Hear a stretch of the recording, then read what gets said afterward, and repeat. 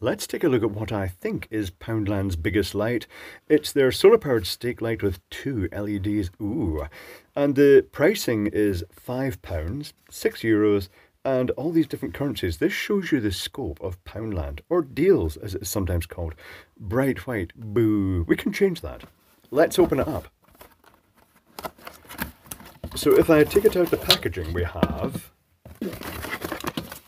lots of instructions in there as usual.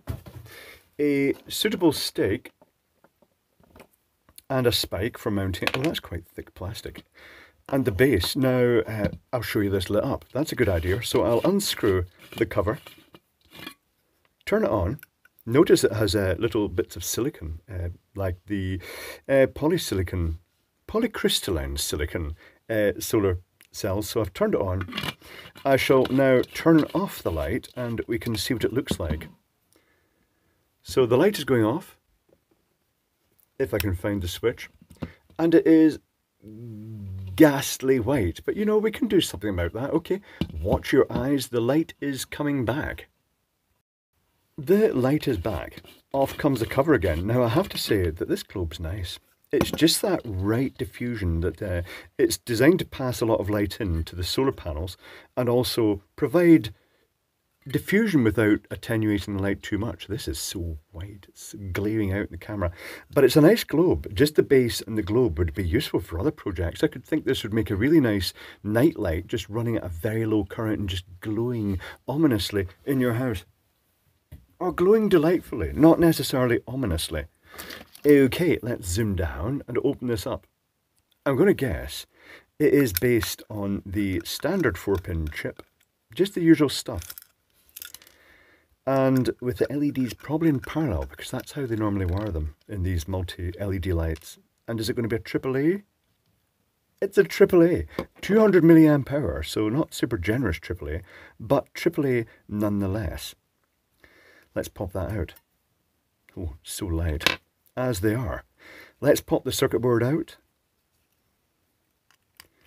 and we'll see what it's got. So the Polycrystalline silicon tends to be a bit more generous in terms of current output for a given, well I can test that, I shall test that, for a given size. It's a classic 4-pin chip, it's got an inductor, brown, green, brown, 150 microhenries. So it's not going for mega brightness, but it's going for an okay brightness.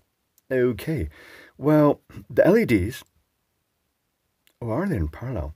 Yes, they are in parallel. Boo. We could have wired them in series. It'll work with them in series.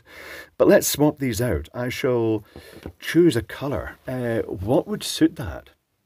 Blue would suit that because it looks a bit like a, a moon. Or, actually, you know what? I shall use the ice blue LEDs because they look great. Hold on a second while I just get the stuff together and we can do this. One moment, please. The solder iron is up to temperature. I've also connected a cheapy meter onto this solar panel and stuffing it up against the light at the bench here.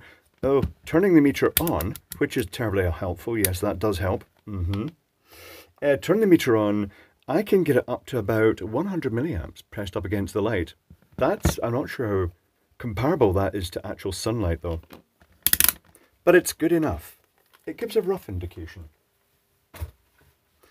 So here are the LEDs I've chosen to use. Let me show you the colour here. These are ice blue LEDs. And if I plug it in here and turn it on, you'll see it's a very pale pastel blue. It's basically speaking a blue chip with this tiniest little hint of blue's of white phosphor on it, just to give a nice pastel blue colour. So the first thing I'm going to do is flow some fresh solder onto these existing LEDs. This is where I'm kind of tempted to, you know, I could wire these in differently. I could actually have reconfigured it so they're wired in series, because you can do that. A previous experiment showed that you can actually run these LEDs a fairly, uh, you can run several LEDs in series in these chips. So I'm going to heat both the solder connections at once and pull that LED out. If it comes out, it's not wanting to come out, it's actually trapped for some reason. There it is. Is this actually marked with polarity? Yes, it is. It's got the flat there. Let me zoom down a bit. And now I'll go to the other side and grip the circuit board stoutly in my fingers. And then I shall flow these two solder joints. Did I put more solder in those? Probably not. Doesn't matter. It's fine. Yeah, the odd, odd shape of the circuit board makes this just that little bit harder. They're out. And now I've got some desoldering braid here, which I shall use to mop up the residual solder. Not my usual desoldering braid, I'm not sure where that's gone. This is thinner stuff, but it's doing the job and that's all we really need.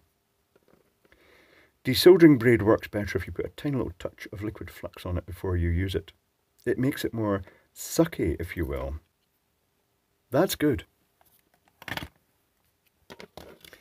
Now there are little uh, fiberglass. Oh, they're not fiberglass. There are little plastic spacers on these LEDs. So let's get the new LEDs and thread them through. The long lead is the positive connection, the short lead is the negative, except for some red LEDs from China for some bizarre reason. So long lead is going to the positive side, short lead is going to the negative side. And this is where the circuit board is going to be just that little bit trickier to hold. Fortunately, because the legs are splayed, it is kind of holding in place. So I shall solder one of the leads, the positive one, as it happens, And I'll make sure that LED is standing up straight, which it is, and then I shall solder the negative lead. Job done. Then I'll upset the perfectionists by cutting the leads to length afterwards. Some people claim that stresses the solder joints. I'm not overly convinced about that. There is some military specification somewhere that says all leads must be cropped before being uh, soldered so you don't crop them afterwards.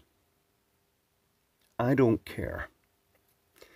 Let's stuff this one in. Positive in there, negative in there. Maybe nudge it up a little bit because a little bit height is good. And I shall solder the positive connection.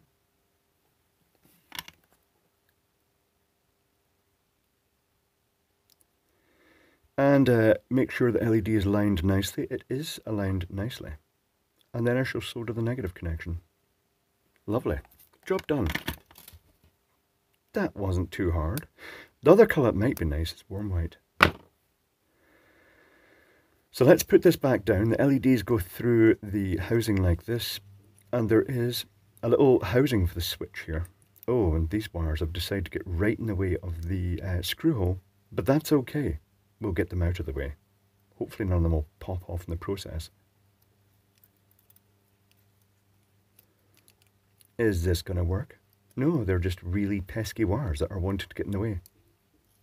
They are getting in the way. I shall tuck them down that direction instead. It will go together. Fumblesome.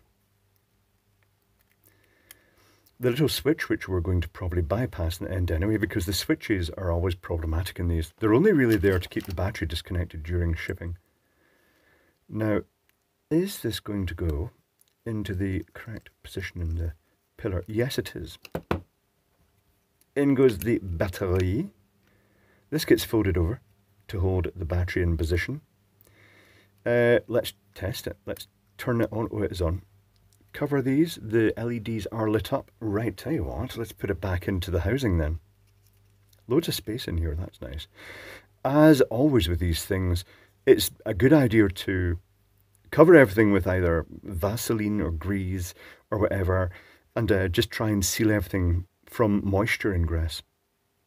Because moisture kills solar lights, which is unfortunate given that they tend to be used outdoors. There's a little spacer here. Oh, and drainage holes in the. There's spacer here to hold the battery in. It just snugs up against the battery there. So I shall manipulate that into the position it feels like it's in its little pillars. And then I shall pop the screws in. Looking forward to seeing how this looks. I do have a nice blue LED in a light outside, and I have to say it looks quite nice. It looks sort of brighter than just plain blue. It has also that nice pastely look to it. This screw is either tapping new thread or I've just wedged a wire in underneath it. Or it might just be a randomly different screw. Okay, globe.